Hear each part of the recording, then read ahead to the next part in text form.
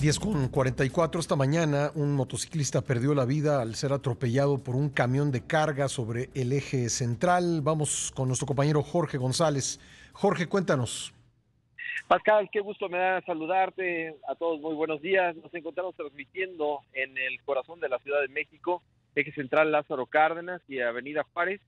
Exactamente en este punto, pues es un motociclista de aproximadamente unos 35 años que pierde el control de su unidad. Fíjate que estuvo lloviendo desde muy temprano en prácticamente todo el Valle de México y esto pues eh, pues pone resbalosa la carpeta asfáltica, todo el pavimento y bueno pues aunado a eso el joven motociclista pues eh, al parecer pisó uno de estos separadores que tiene el carril confinado del trolebús, estos que se llaman volardos y pues perdió el control, cayó el motociclista y desgraciadamente pues un camión de carga iba pasando en el momento, el camionero pues se siguió, no ah, posiblemente no se percató de esta situación, es una motocicleta muy pequeña, es de 150 centímetros cúbicos y bueno pues allá por las calles de la alcaldía Gustavo Madero por la avenida de los 100 metros.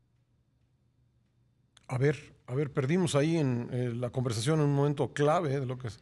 A ver, perdón, te perdimos, pero estabas diciéndonos que eh, se llevó arrastrando la moto hasta la avenida de los 100 metros. No, no, no. No. el camionero se siguió, siguió con su camino. Ah. Seguramente no se dio cuenta de que había atropellado a esta persona. Y lo detuvieron en los 100 metros. Y a través de las cámaras del C5 lo ubicaron hasta ah, la avenida de los 100 metros. Allá lo detuvieron y bueno, pues eh, la situación pues aquí genera un tráfico pero tremendo, Pascal. Está prácticamente desde, el viaducto, son es kilométrico el asentamiento, son tres carriles los que están ocupando por este accidente. Ya el cuerpo del motociclista lo subieron a la ambulancia de servicios periciales, pero pues, están tomando las fotografías, todas las evidencias físicas, porque bueno, pues es una es una descripción pues bastante dantesca que pues no vale la pena. Entonces esto lo tienen que fotografiar y lo tienen que registrar.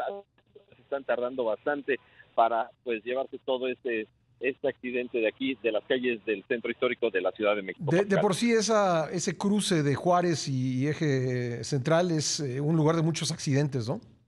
Muchos, muchos accidentes, sobre todo porque es la entrada al centro histórico, digamos, caminando. La gente, mucha gente deja sus vehículos en estacionamientos cercanos y por esta calle de Avenida Juárez entran por Madero y pues aquí es donde se juntan muchísimas personas. Aquí te puedo contar cerca de 60 personas que van a cruzar la calle. Ahorita que está el SIGA, en cuanto se ponga el alto, pues 60 personas van a ingresar hacia la zona centro y para salir pues también cuando menos unas 30 es una gran cantidad de personas y por supuesto hay muchos accidentes. Es un cruce muy muy conflictivo. Gracias Jorge. A la orden, Pascal, muy buenos días. Gracias. Bueno, evite eje central en este momento. Si usted no está escuchando su vehículo y va hacia el centro de la ciudad, no se vaya por el eje central porque hay un embotellamiento tremendo por este accidente que ocurrió, que nos relató Jorge González. 10 con 47.